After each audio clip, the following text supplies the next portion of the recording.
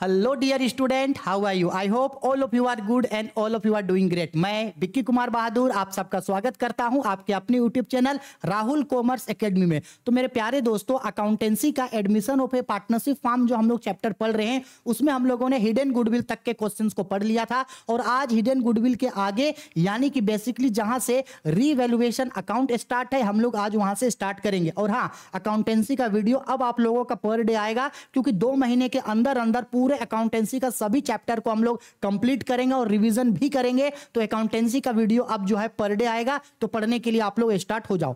अब सवाल इस वीडियो में मैं आप लोगों को बताऊँगा कि रिवेल्युएशन अकाउंट क्या है रिवेल्युएशन अकाउंट किस तरीके से बनाया जाता है, उसके कॉन्सेप्ट क्या है फॉर्मेट क्या है, पूरा फॉर्मेट और साथ ही साथ जर्नल एंट्री इतना इजी वे में समझाऊँगा, जिससे आपको ना तो कभी रिवेल्युएशन अकाउंट को रट्टा मारने का ज़रूरत पड़ेगा और ना ही इसके जर्नल एंट्री को आपको रट्टा मारने का ज़रूरत पड़ेगा। बस मेरे साथ बीस, पच्चीस, तीस मिनट वीडियो को देख लो, जिससे पूरा रिवेल्युएशन अकाउंट का आप मास्टर बन जाओगे, ठीक?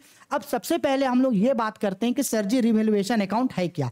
तो देखो बच्चा, लोग ये जो रिवेल्युएशन अकाउंट होता है रिवेल्युएशन अकाउंट का दूसरा नाम होता है profit and loss adjustment account ठीक है? रिवेल्युएशन अकाउंट को हिंदी में पुनर्मूल्यांकन खाता बोला जाता है, जबकि प्रॉफिट एंड लॉस अकाउंट को हमको profit and loss adjustment account को लाभ हानि समायोजन खाता बोला जाता है।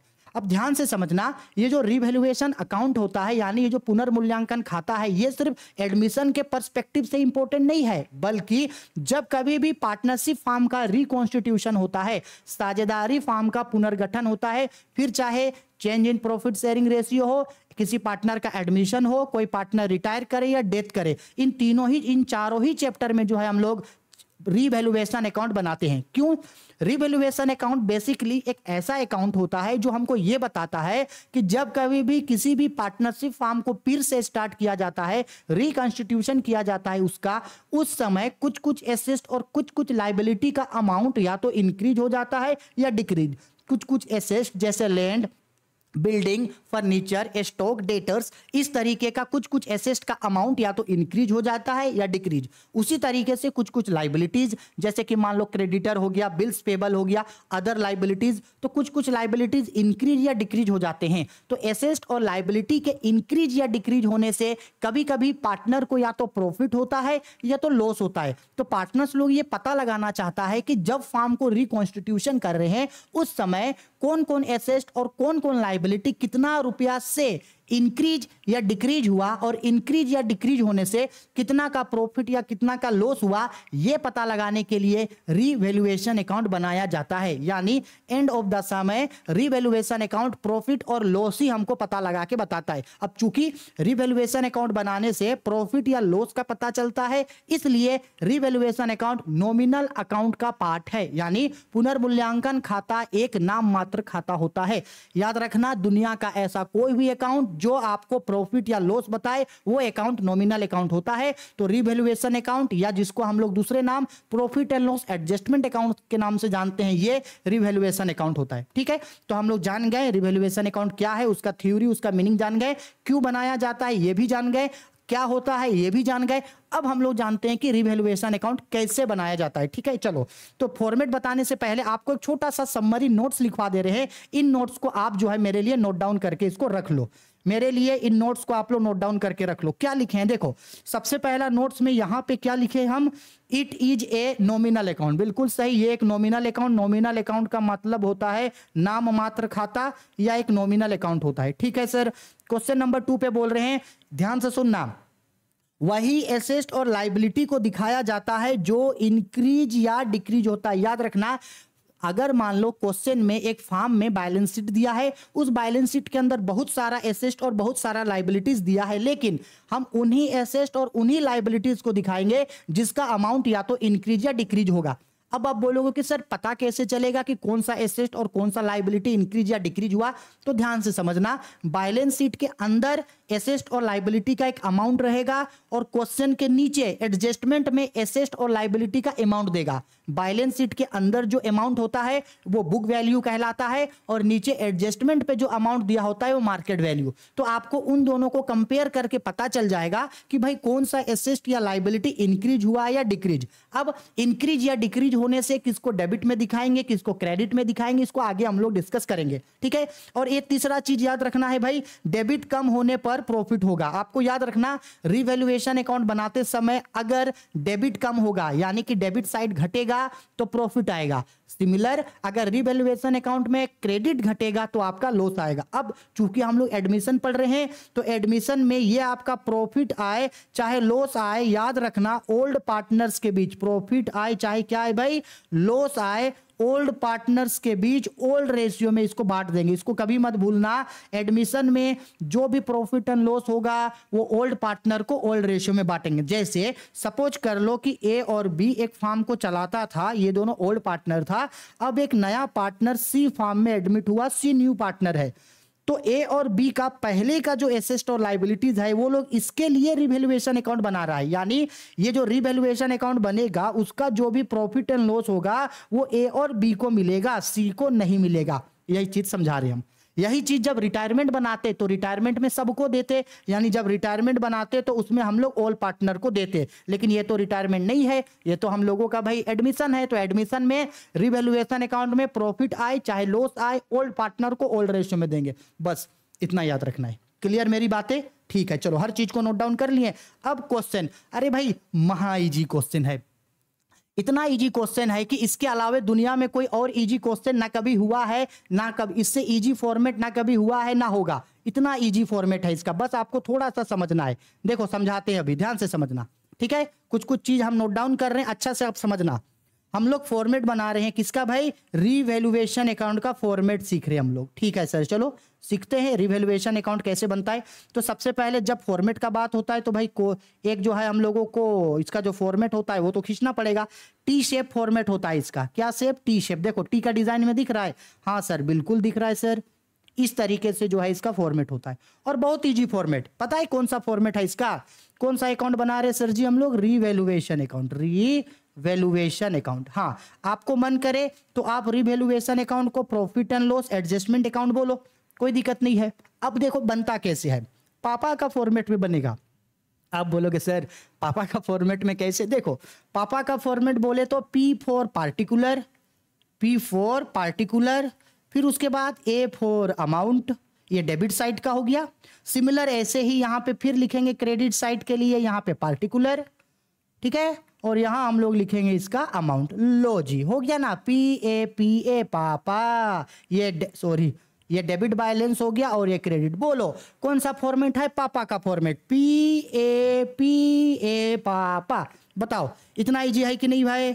बहुत सर बिल्कुल इजी है तो पापा का फॉर्मेट में बनेगा। अब ध्यान से समझना कि ये जो है, मेरा बनता किस तरीके का है? Profit and loss revaluation account किस तरीके से बनता है? पहली बात, हम आपको ये बोले कि ये जो हम लोगों का रिवेल्युएशन अकाउंट होता है, वो कौन सा अकाउंट का पार्ट होता है? नॉमिनल अकाउंट का। ठीक? अब हमको बताओ इलेवेंथ में हम सब लोगों ने पढ़ा है ना इलेवेंथ में नॉमिनल अकाउंट का गोल्डन रूल क्या होता है? बोलो बोलो। हाँ नॉमिनल अकाउंट का गोल्डन रूल हाँ debit all expenses and losses credits all income and gain किसी भी एसेस्ट और लाइबिलिटी के इंक्रीज या डिक्रीज होने से आपको अगर एक्सपेंसेस एंड लॉसेस होता है, क्या होता है भाई? एक्सपेंसेस एंड लॉसेस होता है तो आप उसको डेबिट में दिखाओगे।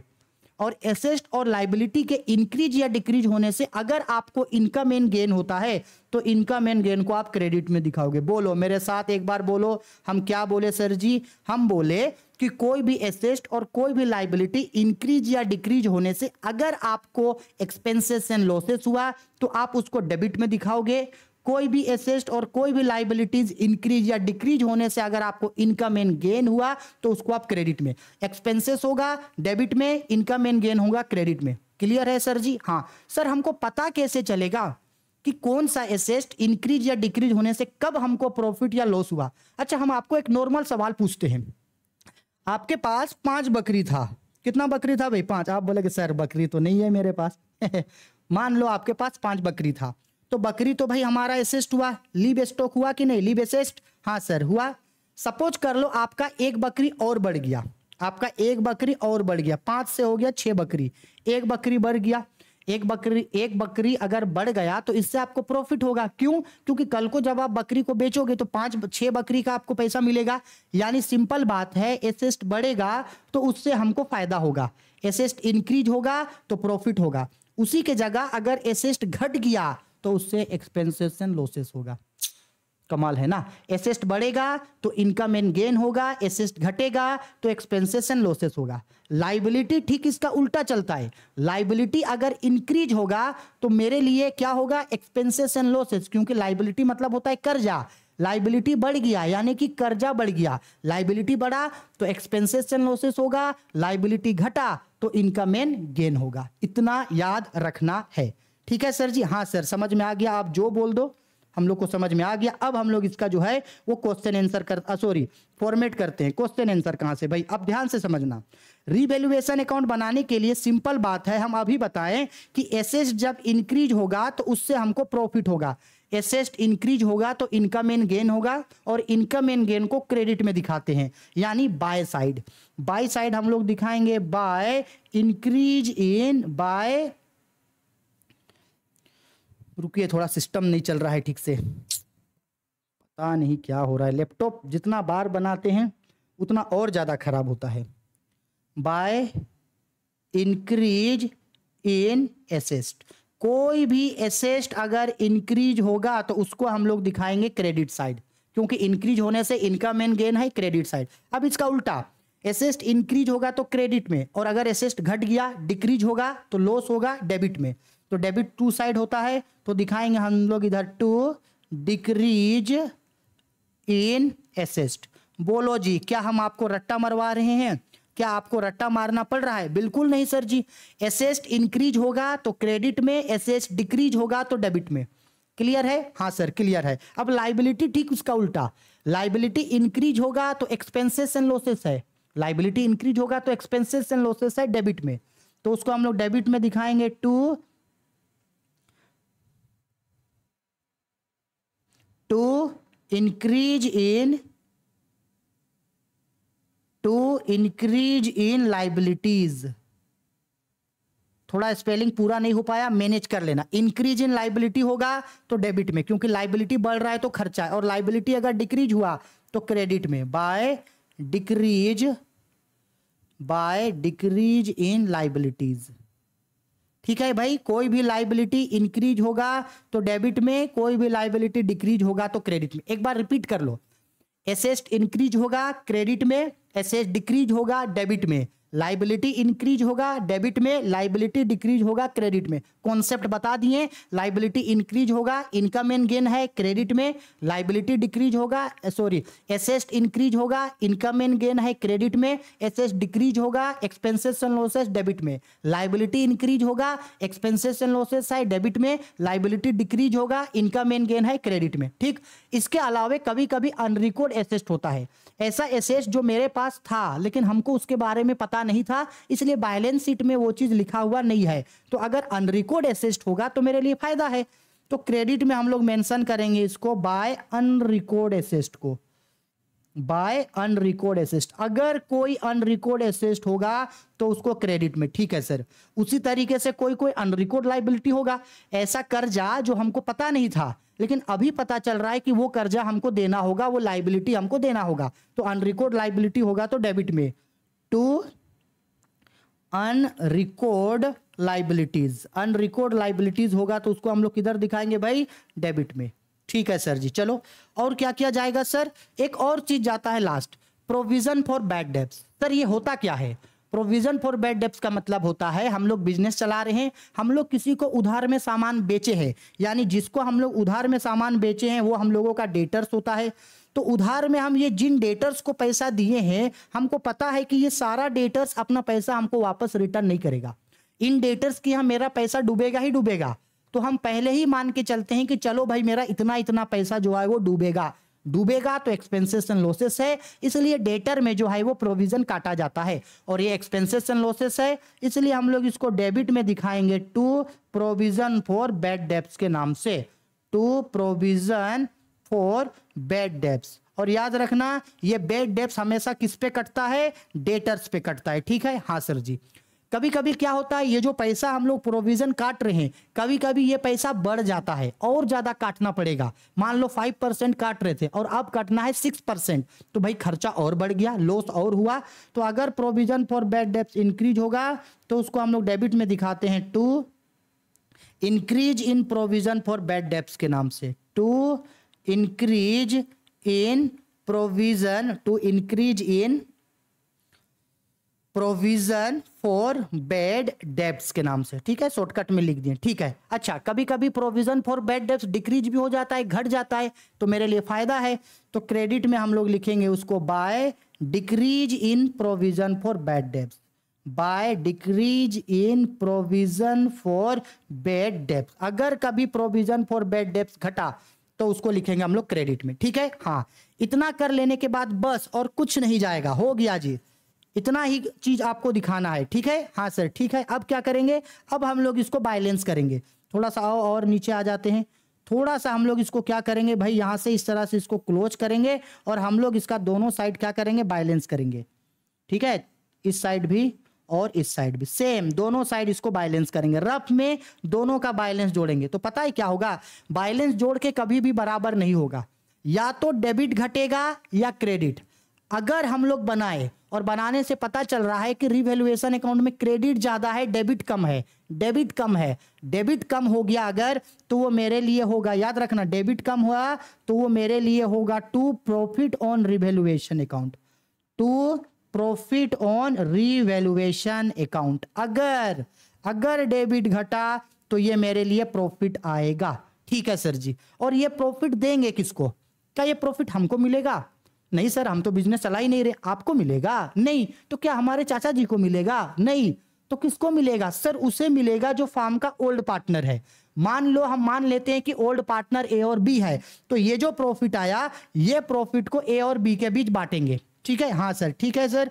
तो बांट देंगे प्रॉफिट को ए और बी के बीच। अगर ओल्ड पार्टनर होगा एक्स और वाई तो एक्स और वाई को अगर होगा एक्स ए और पी जो होगा ओल्ड पार्टनर उसको बांट देंगे। ठीक है? ये प्रॉफिट बांट देंगे। अच्छा किस रेशियो में बांटेंगे प्रॉफिट को? तो सर जी, इस प्रॉफिट को हम लोग ओल्ड पार्टनर्स के बीच बांटेंगे। किस रेशियो में बांटेंगे, सर जी? ओल्ड रेशियो में बांटेंगे। इतना याद रखना। ठीक है, सर। अगर मान लो कभी ऐसा हो गया, सर, कि डेबिट बैलेंस ज़्यादा हो गया और क्रेडिट कम हुआ डेबिट ज़्यादा हुआ, क्रेडिट कम। डेबिट ज़्यादा हुआ मतलब खर्चा ज़्यादा हो गया। खर्चा ज़्यादा हो गया और इनकम एंड गेन कम है। अगर क्रेडिट कम आता है तो वह हम लोगों का लॉस होगा। तो उसको लिखेंगे by loss on revaluation account और इसको ट्रांसफ़र कर देंगे ओल्ड पार्टनर्स कैपिटल अकाउंट में सेम कैपिटल या करंट अकाउंट में सेम ए और बी को जो है, हम लोग क्या करेंगे? इसको बांट देंगे। किसके बीच? ओल्ड पार्टनर्स के बीच। किस रेशियो में भाई? ओल्ड रेशियो में। क्लियर है? यानी आपको इतना याद रखना है कि अगर आप रिवेल्युएशन अकाउंट बनाए और रिवेल्युएशन अकाउंट बनाते समय अगर आपका क्रेडिट बैलेंस आया क्रेडिट बैलेंस क्रेडिट बैलेंस मतलब क्रेडिट ज़्यादा है तो वह प्रॉफिट आपको बताएगा। और अगर मान लो रिवेल्युएशन अकाउंट बनाते समय अगर आपका डेबिट बैलेंस आया तो डेबिट बैलेंस आपका लॉस बताएगा। क्रेडिट बैलेंस मतलब क्रेडिट ज़्यादा। डेबिट बैलेंस यानी डेबिट ज़्यादा। क्लियर बस, यही रिवेल्युएशन अकाउंट का फॉर्मेट होता है। कोई दिक्कत नहीं है, सर जी। एक बार और रिपीट कर लो मेरे साथ। रिवेल्युएशन अकाउंट एक नॉमिनल अकाउंट का पार्ट है। जितने भी एक्सपेंसेस एंड लॉसेस होंगे डेबिट में दिखाएँगे, जो इनकम एंड गेन होगा, उसको क्रेडिट में। एसेस्ट इंक्रीज होगा इनकम एंड गेन होगा एसेस डिक्रीज होगा एक्सपेंसेस एंड लॉसेस होगा लाइबिलिटी इंक्रीज होगा expenses and losses liability decrease income and gain अब आते हैं फॉर्मेट के ऊपर।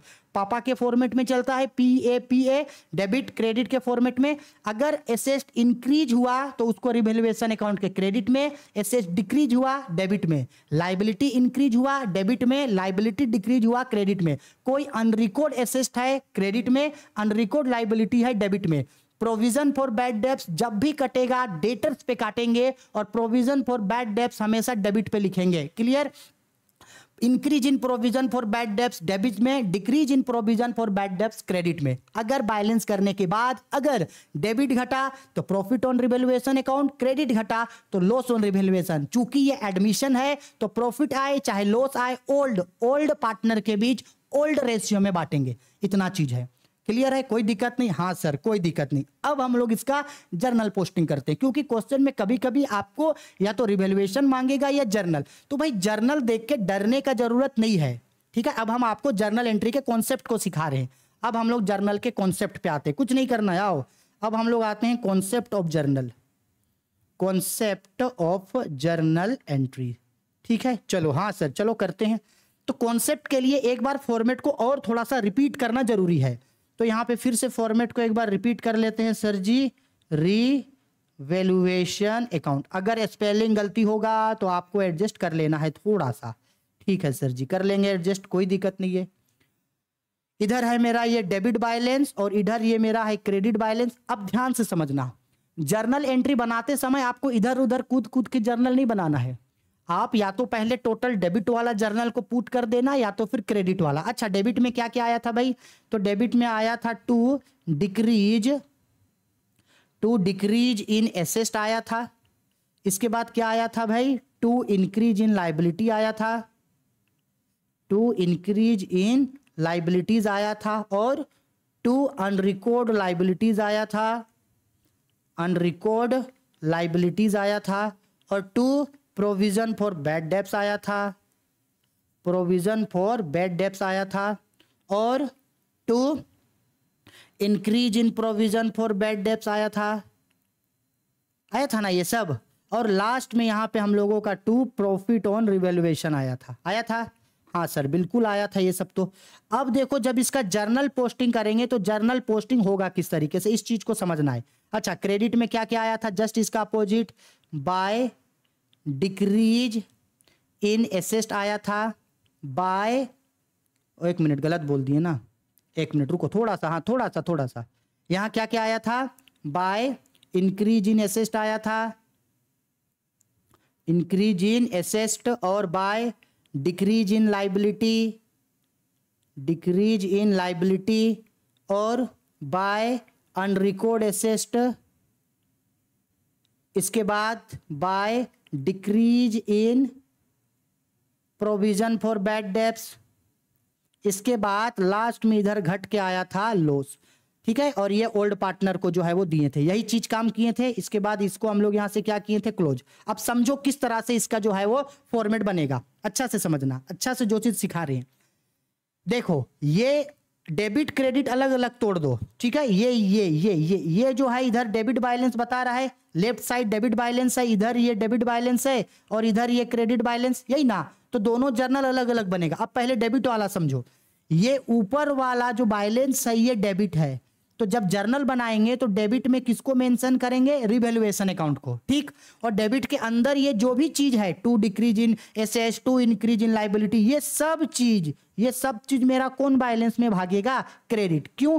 क्योंकि भाई, जर्नल में दो ही साइड तो होता है, एक डेबिट, एक क्रेडिट। अगर ऊपर वाला डेबिट है तो नीचे वाला ये जो भी चीज़ है ये नीचे वाला, आप जो भी चीज़ ये देख रहे हैं, ये ये ये सब चीज़, ये सब चीज़ जो है एक्चुअल में किधर जाएगा? ये सब चीज़ मेरा जाएगा क्रेडिट में। और उस साइड देखो, उस साइड उधर उधर उधर जो है, उधर उधर क्या हो रहा है भाई? ये इधर है मेरा क्रेडिट में। ये है इधर क्रेडिट में। तो इसका मतलब है ये जो भी चीज़ होगा, ये सारा चीज़ किधर भागेगा? डेबिट में। अगर एक बैलेंस डेबिट है तो उसके नीचे वाला सब क्रेडिट उधर वाला क्रेडिट है तो नीचे वाला सब डेबिट हाँ सर ठीक। लेकिन सर जर्नल पे क्या इफ़ेक्ट पड़ेगा? सिंपल बात है। जब हम इन सब का जर्नल बनाएँगे, इन सब का मतलब decrease in assets increase in liability unrecorded liability provision for bad debts increase in provision for bad debts कैसे बनाएँगे?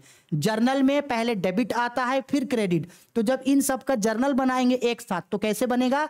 पहले ये जो रिवेल्युएशन अकाउंट है, उसको हम लोग यहाँ यहाँ यहाँ डेबिट में मेंशन करेंगे। तो जर्नल बनेगा revaluation account debit to decrease in assets to increase in liability, to unrecord assets, to provision for bad debts, to increase in provision for bad debts. यानी ऊपर वाला डेबिट में और ये सबको टू टू करके क्रेडिट में अब अगर इसको अलग अलग जर्नल समझना है अगर आपको बोले decrease in assets journal entry बताओ तो जर्नल बनेगा revaluation account debit to decrease in assets बोलेगा इंक्रीज इन लाइबिलिटी का जर्नल बोलिए तो revaluation account debit to increase in liability account आपको बोलेगा अनरिकॉर्ड लाइबिलिटी का एंट्री बोलिए तो revaluation account debit to unrecorded assets account बोलेगा प्रोविज़न फॉर बैड डेप्स का एंट्री बताइए. Revaluation account debit to provision for bad debts आपको बोलेगा increase in provision for bad debts का जर्नल बनाइए. तो revaluation account debit to increase in provision for bad debts clear है? कुछ नहीं करना है, बहुत ईजी है। ठीक है, सर। अब उधर आओ, उधर, क्रेडिट साइड वाला।